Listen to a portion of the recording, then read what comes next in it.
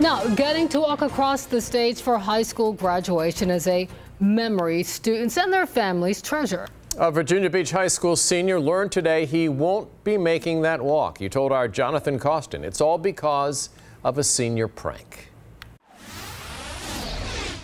Think about it, folks. How far is too far when it comes to carrying out a high school prank? Well, one Virginia Beach student found out that TPing or toilet papering his school was a bit too much, and he's paying for it. Thought it was gonna be a cool senior prank. Family's done it, friends have done it. Meet Hayden Anderson, co-captain of the Tallwood High School football team, and he's also in his yearbook for having school spirit.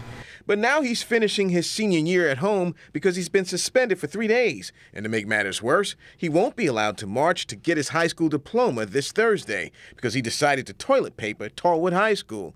His family and friends who support him feel the time doesn't fit the crime.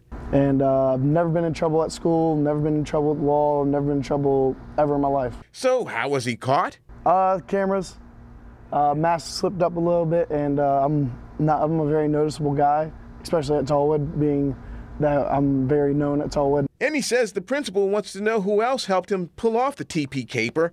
Anderson says there are at least 20 other students with him, but he's not going to dime them out. They're my brothers. I would never. I would never throw anybody under the bus, and if I'm a leader, I'm not going to let out all my dogs.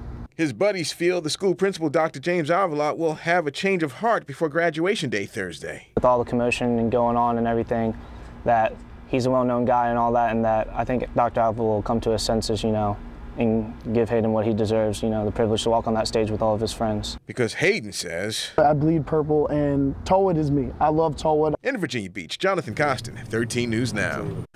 School officials tell us students need to use their best judgment when making choices. The student code of conduct is in effect through the end of the school and uh, year, and students will face disciplinary action regardless of the prank.